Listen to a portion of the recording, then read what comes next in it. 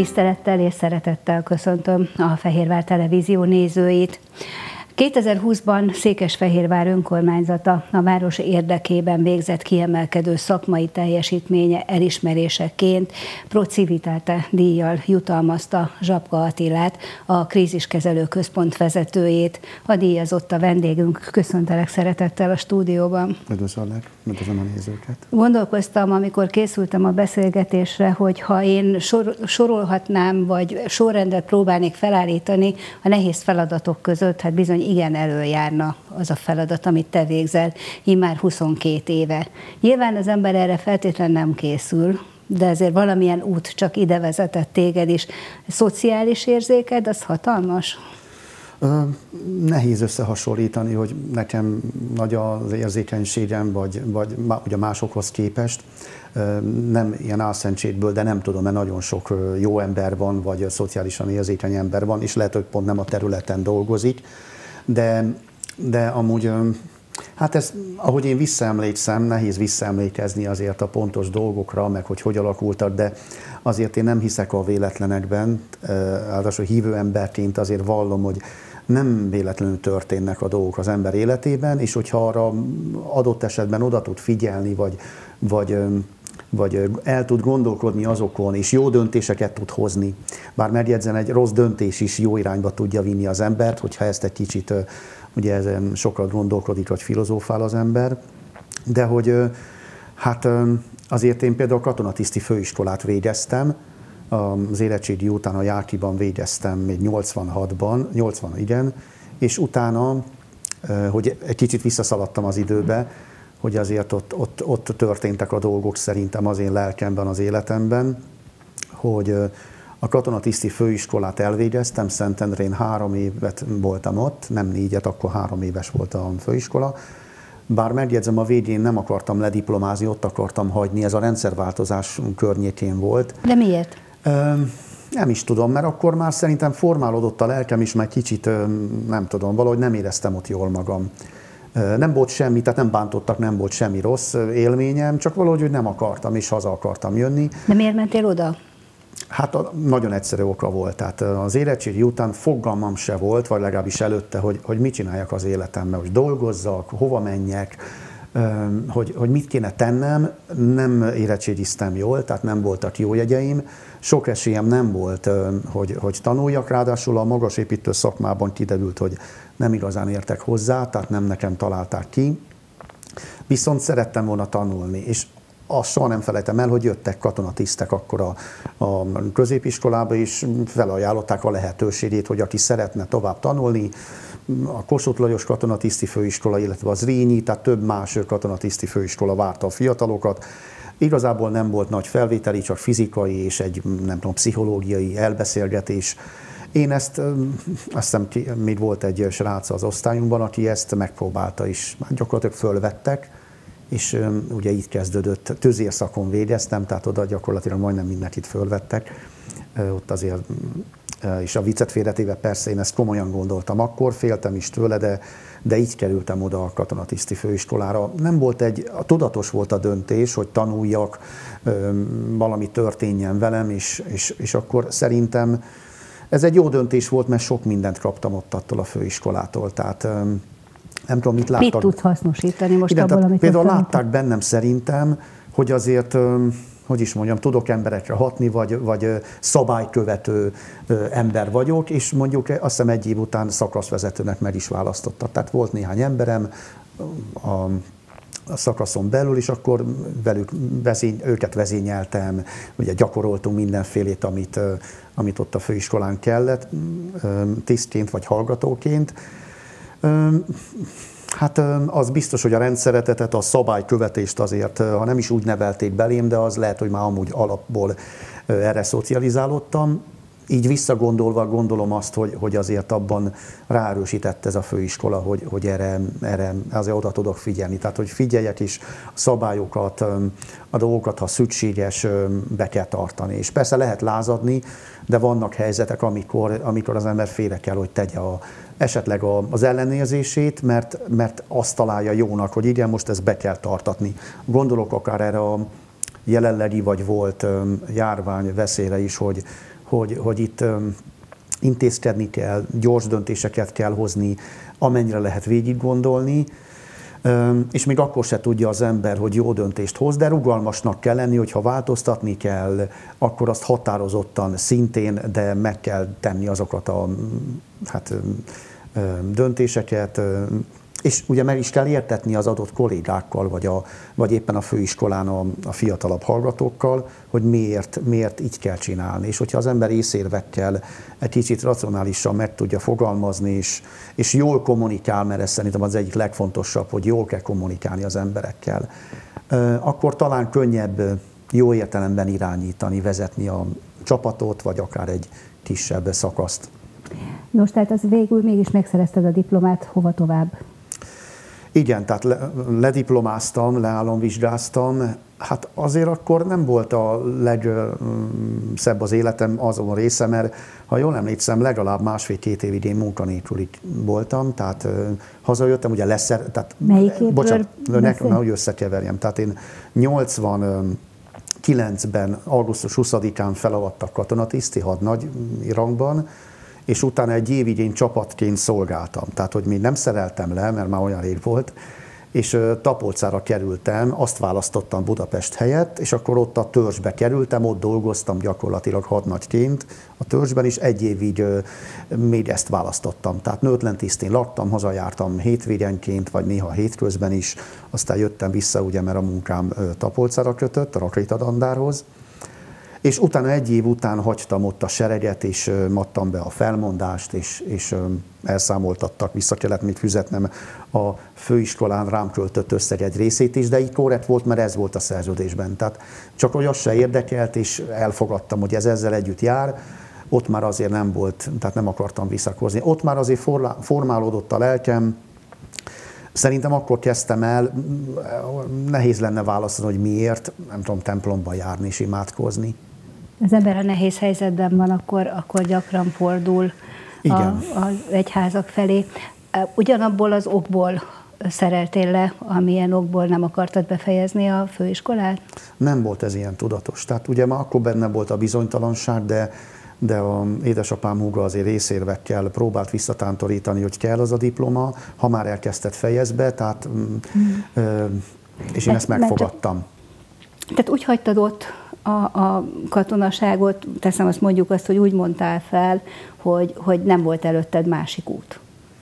Igen, ez valóban így volt. Nem tudom, hogy melyik lenne könnyebb, most már ugye teljesen mindegy, hogy, hogy tudatosan nem voltam azért, tehát elég ilyen érzésekből, meg érzések, amit esetleg a lelkemben éltem meg, hogy, hogy mi az, amit nem szereti. Tehát az biztos, és amikor a, a törzsfőnöknek jeleztem ezt, soha nem felejtem ezeket a pillanatokat, hogy jeleztem, hogy azért akarok elmenni innen, mert mondták, hogy telepedjek le, kapok lakást, kérhetek lakást a családomnak, hogyha itt megnősülök meg. De hogy én ezeket tehát nem vágytam ott, nem tudtam elképzelni ott az életemet, és jeleztem, hogy valamiért én ott valamiért börtönben érzem magam. Pedig aztán jók voltak hozzám, nem volt igazából probléma, de szerintem ezt inkább a lelkemben éreztem, ezért gondoltam azt, hogy ezt meg kell tennem, ezt a döntést meg kell hoznom. Nem volt bennem ilyen tudatos félelem, hogy akkor jaj, mi lesz az életemmel. Nagyjából azért annyira ismertem magamat, hogy, hogy, hogy valamit úgyis tenni fogok, tehát hogy dolgoznom kell, hogy, hogy megváltozik az életem, visszajövök, építenem kell a dolgokat, de, de semmi konkrét tervem nem volt. Megjegyzem, hogy munkanélkülivé váltam, és ugye be is jelentkeztem a munkagyi központba akkoriban, munkát nem nagyon tudtak akkor ajánlani, de hogy azért én ilyen alkalmi munkákat végeztem. Tehát könyvet árosítottam a Kossuth könyvkiadónál, ott a, még a József Attila utcában volt ez a, ez a Kossuth könyvkiadó, zoknikat árusítottam, amiben éppen lehetett belekezdeni, egészen 94 év elejéig. És azt jó, nehéz így mindent felsorolni, de, de én már a 94 előtt is, ahogy mondtam, már tagja lettem, valamiért ugye imádkoztam ott a ciszterci templomba is, és valahogy összetalálkoztunk az akkori sekescséssel, meg, meg egy-két hívővel, és megalakítottuk, vagy újraélesztettük a az egyházközségi Caritas csoportot, ami ugye teljesen önkéntes volt, tényleg az ember lelkiismeretből, meg lelkesedésből elindult ezen az úton. Na, ott, szerintem ott kezdődött valami, hogy akkor mentünk családokhoz, idős nénikhez, kimeszeltük a lakást, segítettük, gyűjtöttünk, ruha adományokat szerveztünk, tehát ilyen akciókat. Tehát ott formálódott szerintem, hogy, hogy ez a terület, ez a segítés területe szerintem akkor indultam el ezen az úton. Kell, kell az, hogy az ember nehéz helyzetbe kerüljön ahhoz, hogy megértse később majd a nehéz helyzetben lévőket? Biztos nem utolsó dolog, de hát annyi minden rossz jó példát hall az ember az életben, meg a világban is, hogy nem, szerintem nem feltétlenül kell, hogy minden áron rossz helyről, vagy legalábbis nem tudom, olyan dolgok történjenek az emberrel, hogy szegény legyen, vagy, vagy nem tudom, hogy, hogy akkor ezt ne felejts el, és akkor biztos, hogy jó ember lesz. Szerintem ezek nem ilyen kőbevésett dolgok. Az biztos, és ugye nem magamat akarom én ezzel természetesen fényezni, vagy, vagy dicsérni, hogy az ember személyiségétől, a személyiségének a fejlődésétől, meg arról, hogy mennyire, mennyire nyitott a világ dolgaira, vagy e, lehet, hogy csak a környezetére nyitottabb, mert sok mindenre nem lehet jól fókuszálni, vagy figyelni, vagy, vagy figyelmesnek lenni. Én szerintem ebbe az utóbbi kategóriába kerültem, vagy, vagy lennék, hogy sem, hát egyáltalán nem tartom magamat, és tényleg semmivel jobb embernek, rosszabbnak sem, mint egy átlag ember. És persze nehéz egy, egy nem hívő embernek ezt megérteni, hogy, hogy, hogy amikor azt mondom, hogy, hogy az embernek azért a, az imádság adja, vagy adhatja azt a plusz erőt, amivel ő nem aggódik dolgokon, és, és megy előre az úton, ami másnak lehet, hogy olyan, hogy fú, hát én ezt nem tudnám csinálni, hogy tudod, hogy van neked erőd. És én néha ezen nem is gondolkodok el. 20 évvel ezelőtt sem. 94-ben hova kerültél? És ugye akkor a Karitásnál ott tevékenykedtem, mármint hogy ilyen egyházközségi Karitásnál, és a, a, a városi, tehát a, a Karitász igazgató megkeresett, hogy nem akarnék-e ott főállásban dolgozni, az Ilona nővér egy, akkor még ő vezette az itteni Caritas csoportot, és mondtam, hogy miért ne, hát igazából majdnem ugyanazt kell csinálnom, és még fizetést is kapok, és főállásban hát el tudok helyezkedni. Mert látták, hogy milyen munkát végzünk ott, és tudták, hogy én például munkanélküli voltam. Úgyhogy február, azt hiszem február 1-én helyezkedtem el 94-ben a Caritas csoporthoz. És, és hát és négy év múlva pedig érkezett a kríziskezelő központ? Nem, előbb. Előbb, mert az, a, ahogy mondtam, ugye nincsenek véletlenek, hogy én ott tettem a dolgomat, már akkor is ugye találkoztam olyan hajléktalanokkal, akik a krízisközpont ellátottjai voltak, ezt ugye később tudtam meg, meg később találkoztam velük, jártak oda ruha, ruháért, meg támogatásért, és valamikor ősszel megkeresett a, a Botka Gáborné, az akkori krízisközpont vezetője, meg az egyik koridonője, hogy hallottak rólam, nem tudom honnan, mindegy, és hogy nincs kedvem átjönni a krízisközpontba dolgozni, mert szociális munkásokat keresnek. És hát, hát úgy döntöttem, hogy dehogy nem. Hát akkor az még, még jobban a, a, az, a, az, a, az a hely, ahol aztán végképp ö, ö, hát segíteni kell fogalmam se volt, hogy mi lesz a feladatom, tehát én nem voltam szociális munkás, meg nem volt ilyen végzettségem akkor, sima közhasznú munkásként fölvettek a Széchenyi 60-ba, akkor még férfi átmeneti szállás volt.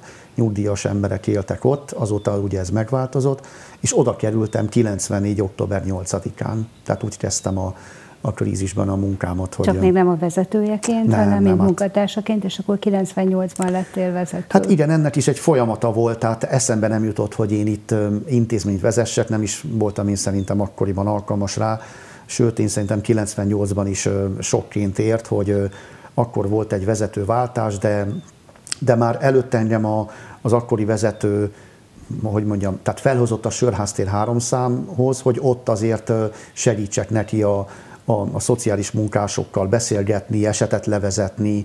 Biztos látott valamit bennem, nekem ehhez meg volt kedvem, és, és amikor 98 elején vezetőváltásra került sor a krízis élén, akkor engem ajánlott megbízott vezetőként az akkori Nagy István polgármester úrnak aki ugye behivatott és megkérdezte, hogy valóban vállalom-e, amíg a pályázatot ki nem írják, és ugye hát ennek azért van egy folyamata. Az akkori vezető látta bennem a fantáziát, hogy szerinte én ezt meg tudom csinálni, vagy legalábbis tudom vezetni. Én meg azt gondoltam, hogy nem, de sok kolléga, aki még most is ott dolgozik, mondta azt, hogy, hogy de alkalmas vagy rá, csináld, vállald el. Azért ezek ilyen, hogy mondjam, fordulópontok, mert én valóban komolyan gondoltam, hogy hát én, én nem, nem volt nekem vezetői képzettségem, aztán majd később lett, de így kezdődött a Tehát 98. később tovább. Igen, 98 májusától lettem megbízott vezetője az intézménynek. 22 éve tehát a kríziskezelő központ élén vagy, ahhoz, hogy értsék a munkádat a nézők, érdemes lenne beszélnünk egy kicsit arról, hogy milyen feladatokat lát el, mi is ez a kríziskezelő központ? Ugye ez Székesfehérváron látja el intézményesen, illetve az utcai hajléktalanókat ez az intézmény. Tehát gyakorlatilag már 90, tehát ennek valamikor nem volt önálló ez az intézmény, családsegítő belül működött, ez még az ősi időkben, ha ezt így mondhatom. 92-től működött folyamatosan önállóan az intézmény, és több telephelye van, ugye jelenleg is. A központi telephelyünk, ahol hát több ellátási forma található, az a Sörháztér három szám alatt van. Ott van nappali melegedő, férfiak, nők igénybe vehetik reggel 8-tól este 6-ig.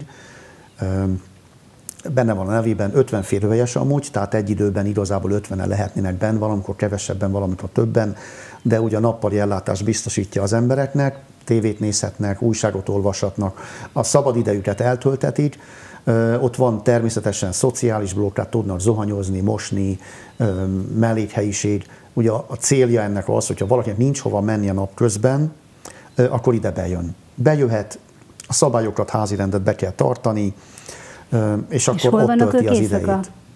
Ugye ez a nappali ellátás, de itt ezen a, ezen a telephelyen van egy éjjeli menedékhely, amit kizárólag csak férfiaknak tudunk itt biztosítani, az pedig ahogy bezáródik, vagy bezárjuk a nappali melegedőt este 6-kor, nyílik is az éjjeli menedékhely, este 6-tól reggel 8-ig tart nyitva. Tehát a, azok a férfiak, akiknek nincs hova menniük, nappal ott lehetnek a nappali melegedőben, és hogyha nincs hol éjszakázniuk, akkor, akkor a nappali melegedő után megkapják a vacsorájukat, télen ugye kicsit igényesebb, minőségibb, tea, szalámi szendvics, a tavaszi nyár, őszi időszakban, nyári időszakban pedig a zsíros kenyeret próbálunk biztosítani, hogy legalább valami legyen esténként az emberek gyomrában és este 6-tól reggel 8-ig ott tud lenni, ilyen lemosható, műbörös szivacsokon, emeletes ágyokon helyezzük el az embereket a, a menedékhelyen. Tehát van egyfajta körforgás, ez úgy nevezzük, vagy talán jobban megérthető, hogy ez ilyen alacsony küszöbű szolgáltatás az éjjeli menedékhely. Tehát itt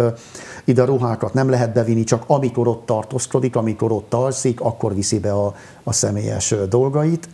Itt is lehet zuhanyozni, mosni, étkezni, melegíteni ételt, és hát ez egy körforgás szó szerint, de ezen a telephelyen van még egy 41 férőhelyes átmeti szálló, itt már négy ágyas szobákba kerülnek az emberek, ide azok tudnak bekerülni, azok a férfiak, akiknek valamilyen rendszeres jövedelmük van, vagy vállalják, hogy dolgoznak, és akkor majd bemutatják a munkaszerződést. Itt ez folyamatosan nyitva van, ez ugye nem zárjuk be. Nagy részük nyugdíjas, nyugdíjszerű jövedelemből látja el magát, és fizeti a térítési díjat, ha jól tudom most 7200 forint, nem nagyon emeltünk, a fenntartó nem is javasoltuk, a jövedelmek nem emelkedtek, úgyhogy de itt térítési díjat kell fizetni, személytérítési díjat, és itt egész nap benn lehetnek. Úgyhogy sok, tehát szerencsére vannak dolgozó embereink is a szállón, és ez a sörháztér. Tehát itt van még szociális és népkonyha ezen a telephelyen. Itt délidőben ez egy tál ételt igényelhetik a szállósok, illetve az utcáról a menedékhelyen élők, és egy tál étellel a hét minden napján segítjük az étkezésüket. Pontos számokat nyilván nem kérek, de nagyságrendileg hány ellátott tartozik hozzátok? Hát ugye a többi telephelyet is, hogyha ugye van a Széchenyi 60-ban ő is szálló, 18 férőhelyes, majdnem mindig tele van, most éppen van néhány férőhelyünk, folyamatosan vesszük fel a, a, a nőket, akik be szeretnének kerülni. Van még a Kiknidai út 8 szám alatt egy volt állami rondozottak számára fenntartott átmeneti szállás, az 16 férőhelyes. Itt, itt több férőhelyünk van, nagyon kevés fiatal jelentkezik mostanában, akik be is tudják tartani a, a feltételeket, de mm, ha jól tudom, 9 vagy 10 vannak, aztán folyamatosan próbáljuk feltölteni a férőhelyeket, főleg itt tél előtt. És hogyha beleszámoljuk még azt a kb. 150 főt, akik jelenleg is az utcán élnek, akkor hát 300-400 között a bent és az utcai emberekkel, plusz azok, akik a kiléptet a lakásban élnek, és egyéb szívességi lakáshasználók, akik amúgy sokszor fordulnak hozzánk segítségért alkalomszerűen, akkor körülbelül inkább a 400-hoz közelít, akikkel valamilyen rendszeres kapcsolatunk van. Intézményes, vagy éppen az utcai ellátottak tekintetében. Mennyire változtatta meg a feladatokat a járványhelyzet?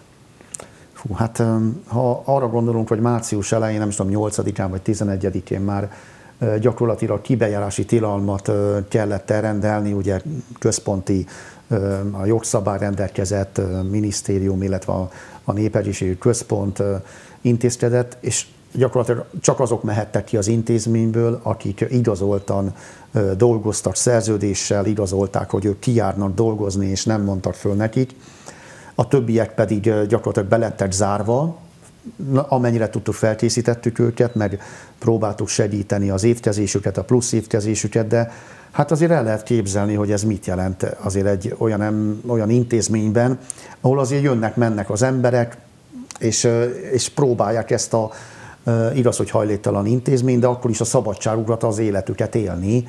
Ugye tavasszal, nyáron parkokban itt-ott azért könnyebben kimaradnak az emberek. Ez ugye a tél vége fele volt, azért még nem volt olyan túl jó idő, talán kicsit könnyebben elfogadták az emberek nagy része, hogy, hogy hát akkor ez van. Én mondtam, hogy nézzék folyamatosan a tévét, éjjel-nappal mehetett a tévé, hogy nehogy az legyen, mert eléggé szkeptikus jó néhány emberünk, hogy ezt nem a Zsapka Attila találta ki ezt a vírust, vagy nem, nem nekem az én hát szándékom az, hogy na akkor most zárjuk be az intézményt. Hanem meg kellett többször, ugye tájékoztattam őket személyesen, nem csak fali újságon, hanem személyesen is a, a telephelyen, ott ugye a Sörháztér 7 szám alatt van a, az irodám, ott azért többször tudtam velük találkozni, átmenni a, a telephelyre, hogy folyamatosan kellett őket tájékoztatni személyesen, hogy, hogy ez az ő érdekük. Tehát ugye ez volt a cél, hogy természetesen se a kollégák, de elsősorban a lakók, akik elég rossz egészségi állapotban élnek, nem csak akkor, hanem most is, hogy őket védjük, és ezért kellett, és mm, hát kellett olyan szigorú szabályokat hozni, amivel, amivel együtt kell élni. Voltak ö, olyanok, akik talán kettő ember, aki fogta magát és kimászott a kerítésen. Tehát ö, nem maradt benn. Tud, tehát ki lehetett menni, de akkor voltak következményeik. Tehát, hogy össze-vissza bekijárkálni, pont azért, mert egy láthatatlan vírus ellen, ugye általában a vírusok nem láthatóak, kellett küzdeni, ezért hát mondanám azt, hogy teljes mértékben megváltoztatta az életünket, nem csak a hajléktalanokét értelemszer, hanem a milyenkét is, és ennek még nincs vége, vagy nem tudott vége lenni, vagy volt egy kis szabadság, egy nyári lazaság, ahol az ember ugye el tudta küldeni a kollégáit szabadságra, egy kicsit talán tudtunk pihenni, de hát most, ahogy nézzük a, a jelenségeket, meg a változó, növekvő esetszámokat, hát nem vagyunk nyugodtak. Maszkot fertőtlenítőszert tud biztosítani a krízis központ az ott élőknek? Hát szerencsére ez, ez mindig is így volt. Tehát március elejétől, ahol ugye mondjuk azt, hogy váratlanul ért minket, de azért már, már azért az év elején tudtuk, hogy amikor már jöttek olyan hírek, akkor már kellett készülni. Tehát egy, szerintem egy felelős vezető kell, hogy amennyire tud, előre gondolkodjon, és, és nem siránkozni elsősorban, nem ez a dolga, hanem, hanem be kell szerezni olyan dolgokat, amelyek szükségesek. Na most ebben nagy partner volt a Humán Szolgáltató Intézet, hát ugye így az önkormányzat, hiszen a fenntartó biztosította már akkor is vásárolta illetve engedélyezte azoknak a, a, a fertőtlenítőszereknek, maszkoknak a beszerzését, ami szükség volt akkor, hogy a kollégákat ellássuk elsősorban, illetve szükség szerint ilyen eldobhatós maszkokat pedig ugye az ellátottaknak is tudjon biztosítani, illetve hát a hipótól elkezdve minden olyan fertőtlenítőszer, ami a takarításban segített, ezeket folyamatosan szereztük be. Rengeteg dolgot kaptunk a Humán Szolgáltató Intézettől, hiszen nagy részét nem tudtuk mi beszerezni, nem állt rendelkezésre, de a Humán Szolgáltató Intézet folyamatosan ellátta az intézményt, ez óriási segítség volt akkor nekünk. Nap mint nap találkozol tragédián átment emberekkel, krízis helyzetben lévő emberekkel, hogy tudod a lelked nyugalomban tartani?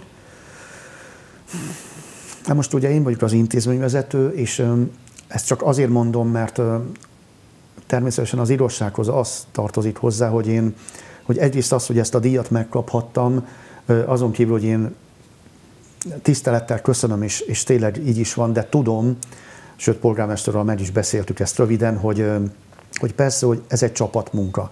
Tehát, hogy azért én kevésbé tudnám jól végezni a munkámat, vagy lelkismeretesen, és nyugodtan hazamenni, hogy ugye működik az intézmény, anélkül is, hogy én ott vagyok hogyha nem lenne mögöttem egy olyan masszív csapat, akik, akik, akikkel lehet beszélni, meg lehet értetni velük, hogy mit miért csinálunk, vagy mi az, amit be kell tartani. Most a járvány veszélyre gondolván elsősorban, mert ez is egy új helyzet mindenkinek, nekem is, kollégáknak is, lakóknak is, hogy, hogy azért a kollégák vannak ott elsősorban abban a vonalban, a frontvonalban, ahogy szokták mondani, akik folyamatosan ugye egyéni beszélgetéseket folytatnak, vagy éppen fogadják nem mindig a dicsőítő szavakat az embereintől, vagy éppen köszönik meg nekik, hogy, hogy, hogy, hogy kitartanak, hogy segítik az életüket.